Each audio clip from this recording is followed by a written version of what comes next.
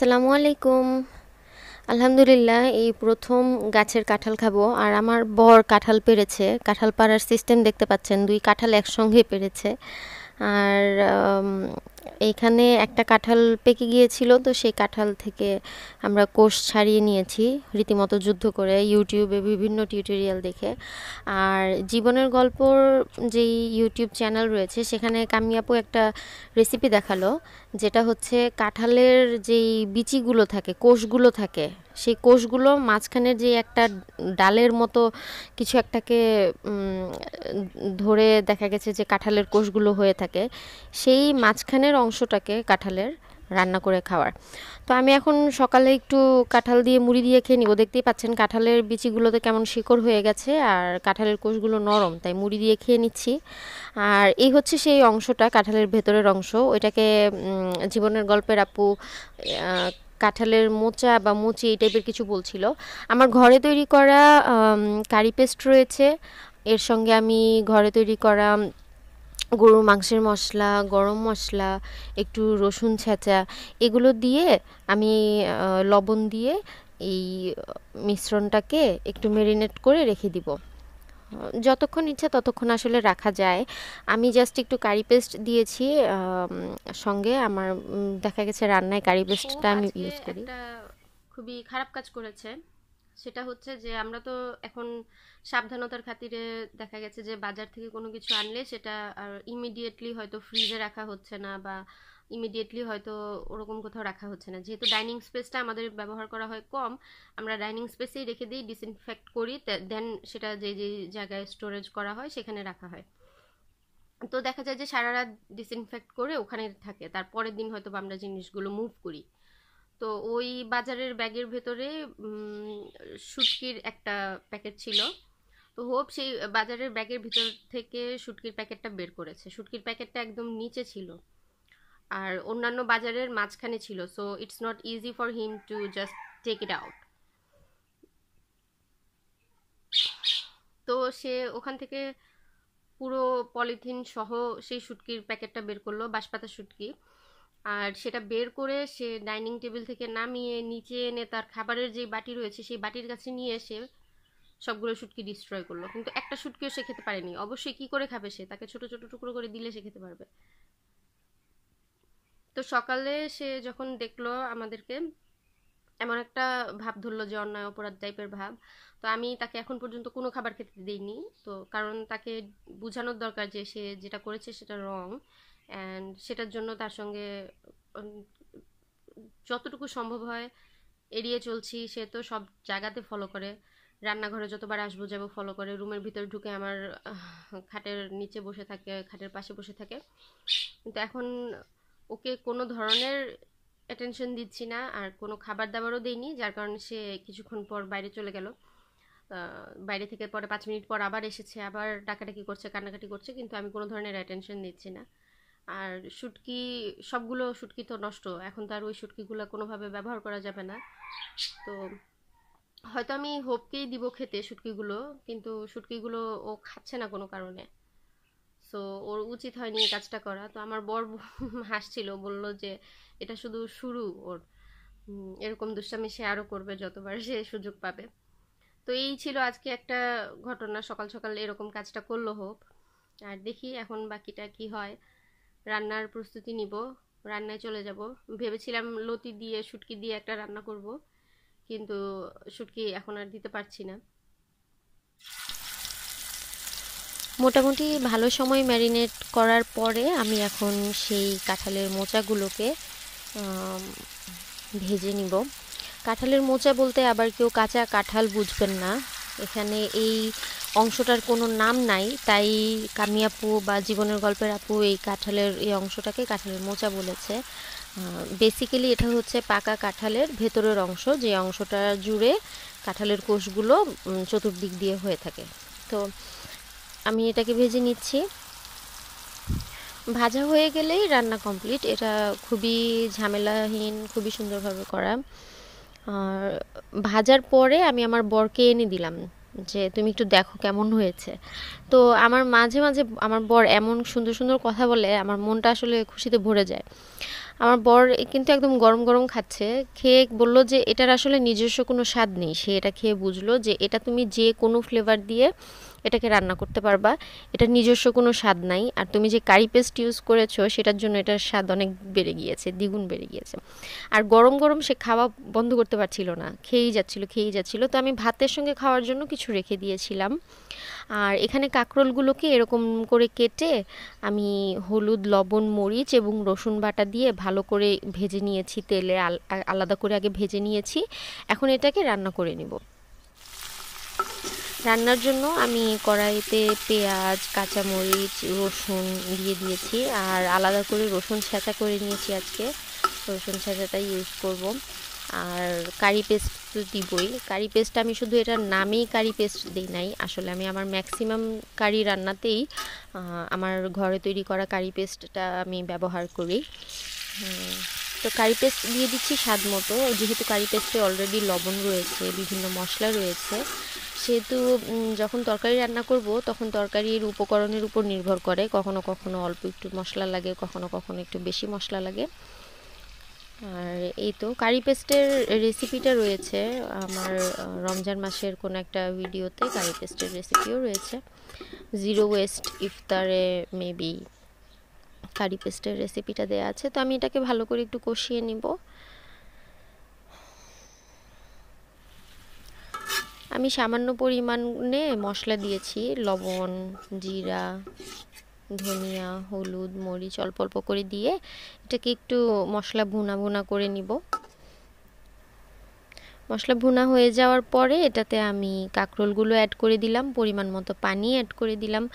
এই পানিটা পুরোটাই আমি শুকিয়ে নিব, শুধুমাত্র মশলা এবং কাঁকরোল সব কিছু যেন মাখা মাখা হয়ে যায়, তার জন্য পানিটা অ্যাড করা হয়েছে।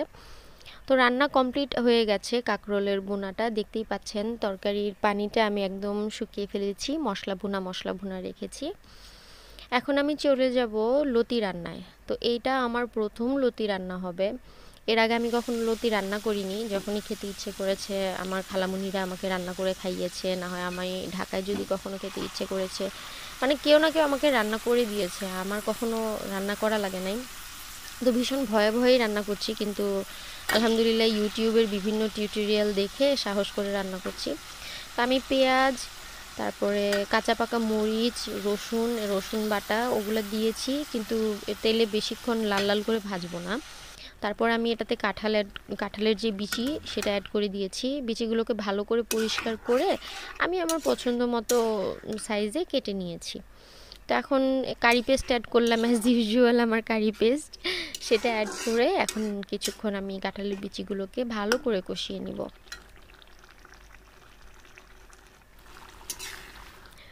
মোটামুটি যখন কষানো হয়ে এসেছে তখন আমি চিংড়িগুলো অ্যাড করে দিয়েছি।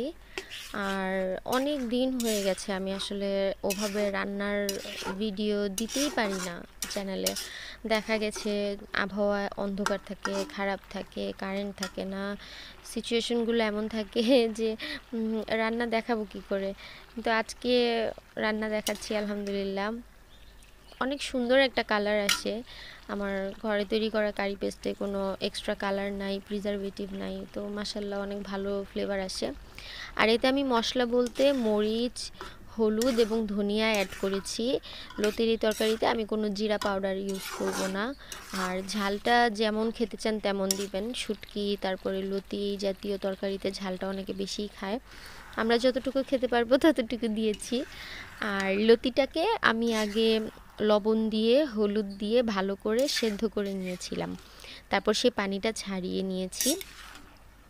আর পুরোপুরি লতি আমি অ্যাড করিনি আসলে। বাজার থেকে যে পরিমাণ লতি এনেছিল, সবগুলো দিয়ে রান্না করলে কে খাবে? আমি এখনও জানি না যে লতির তরকারি শুধু আমার একাই খেয়ে শেষ করতে হবে কি না কারণ আমার বর কচু লতি, এই সমস্ত জিনিস একটু কমই খায়। আমার ভয়ে খায় বেসিক্যালি আর যেদিন খেয়ে তার ভালো লাগে, যেমন কচু শাক সে খাওয়া শিখেছে রিসেন্টলি সে খেয়ে ইদানিং বলে যে তার অনেক মজা লাগে খেতে, আমি যেন এইভাবেই বানাই।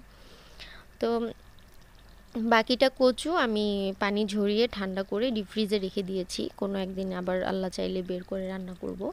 আর এই কচুটাও ভালো করে কষিয়ে রান্না করে নিয়েছি। এক ফোঁটা পানিও রাখিনি কচুতে। বা কচুরলতিতে আর বাসার মধ্যে বাজারের যে জিনিসগুলো রয়েছিল, আরও কিছু কাঁকরোল রয়েছে, তারপরে করলা রয়েছে, বেগুন রয়েছে, এগুলো আমি ফ্রিজে রেখে দিব। এই বেগুনটাকে নাকি বাজারের লোকজন তাল বেগুন বলে। তো আমি আজকে নতুন একটা নাম শিখলাম, তাল বেগুন। এক একটা বেগুনের মেবি এক একটা নাম থাকে, আকার এবং আকৃতির জন্য। তবে নামটা অনেক কিউট, তাল বেগুন। আর একটা জিনিস দেখে খুবই অদ্ভুত লাগছে, সেটা হচ্ছে যে হয়তো আবহাওয়াটার কারণে এই ধনিয়া পাতাগুলো এমন হয়ে যাচ্ছে, দেখতে খুব মলিন লাগছে। এর চেয়ে মাসাল্লাহ আমার বাগানের ধনিয়া পাতা অনেক ভালো সতেজ আছে, আর আমার বর বোম্বাই মরিচ নিয়ে এসেছে। বাজারে এখানে নাকি এখন ধনিয়া পাতা পাওয়াই যায় না। তো সন্ধ্যার দিকে একটু চটপটি খেয়ে নিব। আর সারাদিন কাজ টাজ করে, শরীরটা আসলে এখন ক্লান্ত হয়ে আছে, একটু চাও খেয়ে নিব। আর রাতের রান্নায় বসে রাতের রান্নাবান্নায় খাওয়ায় বসে পড়লাম। এখন সেই কাঁঠালের যে মোচাটা রয়েছে বা কাঁঠালের যে অংশটা ভেজেছি, সেটা দিয়ে খাব। আর বোম্বাই মরিচ রয়েছে সঙ্গে। আর কাঁকরোল ভুনাতে আমি পরে একটু ধনিয়া পাতা অ্যাড করেছিলাম। কাঁকরোল ভুনা রয়েছে। আর তো লতির তরকারি তো রয়েইছে। এখন দেখা যাক কতটুকু কি দিয়ে আমার বর খায় এবং আমি তো আলহামদুলিল্লাহ সবগুলো দিয়েই একটু একটু করে খাব। আর এটা রান্না করে খেয়ে যেটা বুঝলাম আমি, আসলেই আমার বরের কথা সঠিক। এটার নিজস্ব কোনো স্বাদ নাই। অনেক খাবার থাকে না, যেমন ধরেন কলার মোচা। এটা নিজস্ব কিন্তু কোনো স্বাদ নাই। এটা আপনি যেটা দিয়ে যেভাবে রান্না করবেন, ওই মশলাটাকে সেটা অবজার্ভ করে। মশলাটার সেই স্বাদটা সে নিজে শুষে নেয়। তো, আমি এটা এই প্রথম রান্না করলাম এবং রান্না করে আমি এটার নিজস্ব যেই স্বাদটা আছে সেটা আমি বুঝে নিলাম। এর পরবর্তীতে যদি রান্না করি তখন হয়তো আর অন্য কোনোভাবে রান্না করব। আমরা জানতামই না যে এই জিনিসটা আসলে রান্না করে খাওয়া যায়। তো জীবনের গল্পের আপুকে অনেক ধন্যবাদ যে, এরকম ধরনের রেসিপি দিচ্ছে যেগুলো হয়তো কখনো কেউ খায় নাই বা বিভিন্ন এলাকায় হয়তো খুবই কমন কিন্তু অনেকেই জানে না। তো আমি এজন্যই ট্রাই করেছি, কারণ ওরা যখন কোনো কিছু বানায় বা রান্না করে খায় আর দেখে যে জিনিসটা ভালো হয়নি, তখন কেউ কাউকে রেকমেন্ড করে না রান্না করার জন্য। যেহেতু তারা খেয়ে বলেছে ভালো, তাই আমি সাহস করে বানিয়েছি। আর এখন আমি আমার কাকরোল ভুনাটা নিয়ে নিলাম, খেয়ে নিচ্ছি। আমার বর প্রত্যেকটা রান্না ইভেন আমি যদি বাসায় ডালও রান্না করি এবং প্রতিদিন রান্না করি, প্রতিদিনের রান্না, সে খেয়ে একটা নলা, দুইটা নলা খেয়ে সে বলবে আমাকে যে এই রান্নাটা মজা হয়েছে এই রান্নাটা এরকম হয়েছে এই রান্নাটা এই ফ্লেভারটা আমার অনেক ভালো লাগছে। মাসাল্লাহ সব সময় বলে এবং সব সময় ভালো হয়।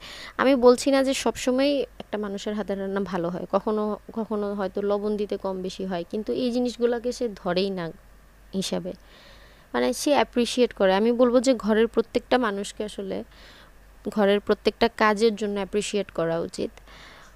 প্রতিদিনের কাজ খুবই হয়তো সাধারণ কাজ বা প্রতিদিনই করা লাগে এরকম কাজ যেটা মনে হয় যে অ্যাজ ইউজুয়াল কিন্তু প্রত্যেকটা কাজের জন্য অ্যাপ্রিসিয়েট করা উচিত। পুরুষ এবং মহিলা সবাইকেই। তো যাই হোক, অনেকেরই কৌতূহল থাকে যে আমি এভাবে খাবার সুন্দর করে দেখাচ্ছি, রান্না করছি, খাচ্ছি, কিন্তু খাওয়ার সময় আমাদেরকে দেখাচ্ছি না কেন? শুধু খাবার দেখাচ্ছি। আসলে আমার বর অনেক ক্যামেরা কনসিয়াস ওকে আস্তে আস্তে এই জিনিসগুলোতে একটু ইজ করানোর ব্যাপার আছে। আমি তো শুধু একা আমাকে এভাবে দেখাতে পাচ্ছি না। যখন আমার বড় কমফোর্টেবল হয়ে যাবে, আস্তে আস্তে একটু একটু আসা শুরু করেছে, একটু একটু কথা বলা শুরু করেছে, তখন আমি হয়তো খাওয়া দেখাবার তাছাড়া আমি তো রান্না দেখাচ্ছি। আমি খাবারের সময় দেখাচ্ছি। তো কচুরলতিটাও খেয়ে নিচ্ছি আর সবচেয়ে মজার যে বিষয়টা হয়েছে, আলহামদুলিল্লাহ, আমার বর কচুরলতি নিয়ে খেয়েছে উইচ ইজ আমার জন্য ইটস এ কী বলব বিগ অ্যাচিভমেন্ট কারণ কচুর লতি খাওয়াটা খুবই কঠিন ইম্পসিবল কাইন্ড অফ ও যে কচুর লতি খেয়েছে, আমি অনেক খুশি হয়েছি। কারণ কচু খাওয়াটাই রিসেন্টলি শুরু করেছে। হয়তো সপ্তাহ দুয়েক ধরে কচু শাক ওকে আমি খাওয়াতে পারছি এত বছরের। সো এই তো আজকে গেল মোটামুটি কোনো রকম। ভালোভাবেই কেটেছে আলহামদুলিল্লাহ। ঝড় বৃষ্টি তো সবসময় রয়েইছে। আপনারা সবাই যে যার জায়গা থেকে ভালো থাকবেন জীবনে ভালো সিদ্ধান্ত নেবেন, ভালো মানুষ হওয়ার চেষ্টা করবেন, আমাদের সবার জন্য দোয়া করবেন। আল্লাহ হাফেজ।